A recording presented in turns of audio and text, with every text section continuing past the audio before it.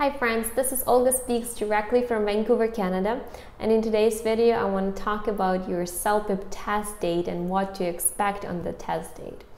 So taking a test, any kind of test, be it CELPIP, be it TOEFL, be it um, IELTS, can be super stressful on the test date, especially when you're so anxious and so overwhelmed with everything. But it doesn't have to be that way if you know where you're going, what you're doing, and what to expect on the day.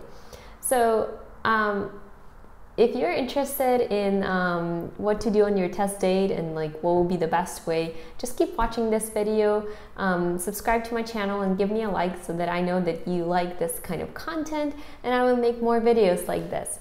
So let's go over the things to expect on the test date.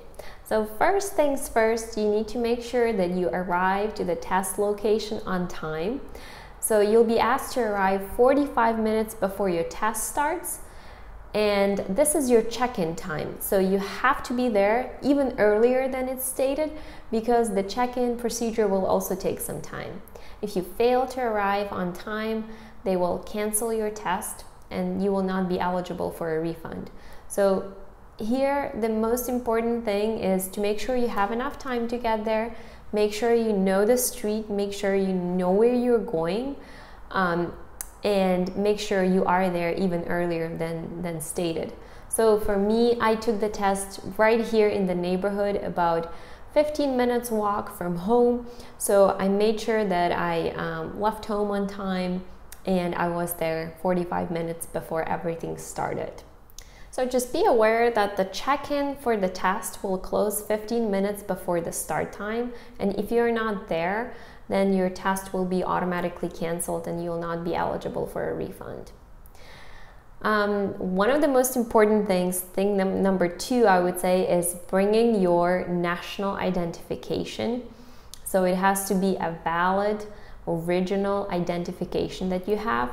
So basically, I registered with my passport and I brought my passport to, uh, to the test venue and they checked it and they said I was good to go. I had a friend here in Canada who didn't bring his passport, but he had his driver's license on. And the test examiners didn't let him take the test because if you registered with your passport, you should be bringing your passport with you. So make sure you have that because if you don't, you won't be able to receive a refund or reschedule right there.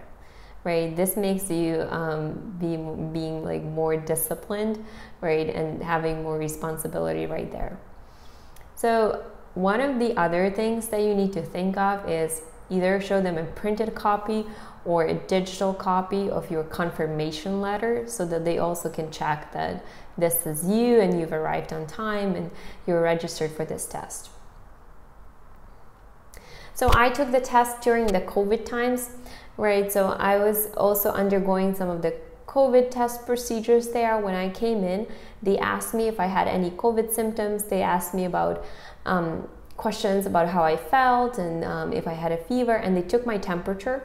So this was all right. Uh, we are all living during the times of pandemic, so this was something new. And just like undergoing those questions, make sure that you answer them correctly. And if you're not feeling well, make sure that you stay at home. So a few tips from me, um, make sure to use the washrooms, the bathrooms, the restrooms before you start the test, uh, before you start the check-in right? Because um, once you're there, once you're in the room, the test time has started. Um, the examiners are not going to put it on hold, and there will be no time for you to do that, right? So I would suggest go before, go in advance, um, and make sure there's nothing holding you back from, from taking the test. So once you come in, um, you will be asked to put your belongings in a special locker room. So by belongings, I mean your mean your electronics, your watch. Um, if you have bulky jewelry, they, they will also ask you to leave it behind. And then your uh, coats, scarves, hats, um, hoods, anything like that. Um, so just take it off and then leave it in the locker. It's going to be super safe with them. After you're done with the test, the staff member will walk you to your locker and you'll be able to collect your belongings. Um, turn off your cell phone before you leave it. You don't want to have like any um, music, any alarms going off, because that's going to be a little weird. So just make sure you turn it off or turn you turn off the voice uh, notifications on your iPhone on your phone, and um, go for the test.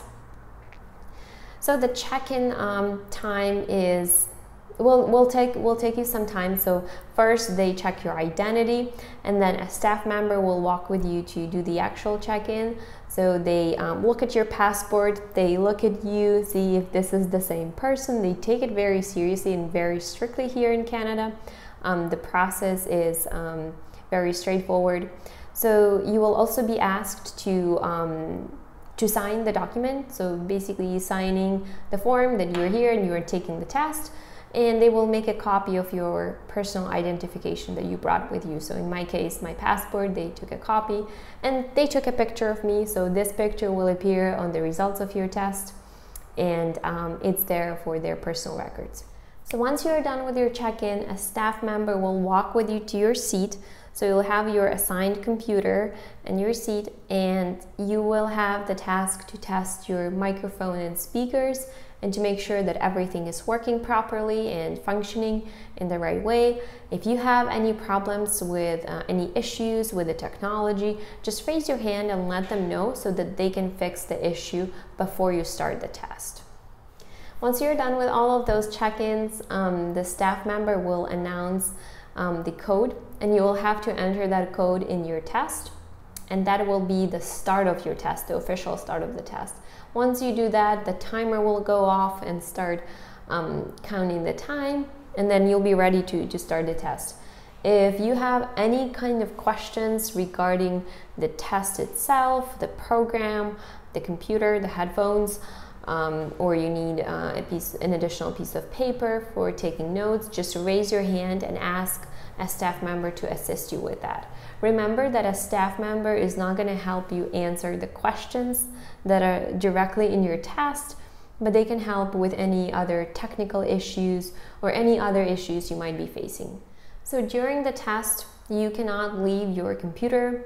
You cannot just um, stand up and leave without a permission. You have to be only uh, focused on looking in your computer um, you're not supposed to look at other people's computers or what they are writing. So basically, not supposed to cheat on the test.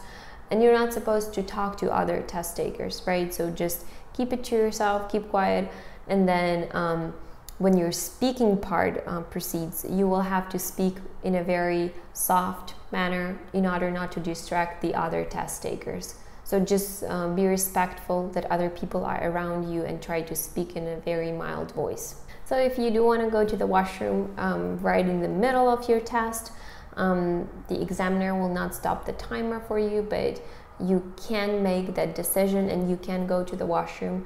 Um, a staff member will walk you to the washroom, will wait for you, and then will walk you back to, to the test station.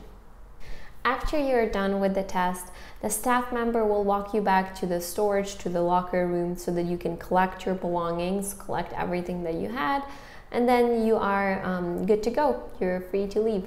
Um, if you've experienced any kind of issues or anything that you think might have affected your test score, might have affected your results, make sure to report it right there on site and make sure that you raise your concerns to the staff member and um, they will guide you on your next steps there. Just make sure you report it before they release the scores. Um, they are super fast and super diligent with delivering the scores. I got my scores two days after passing the test.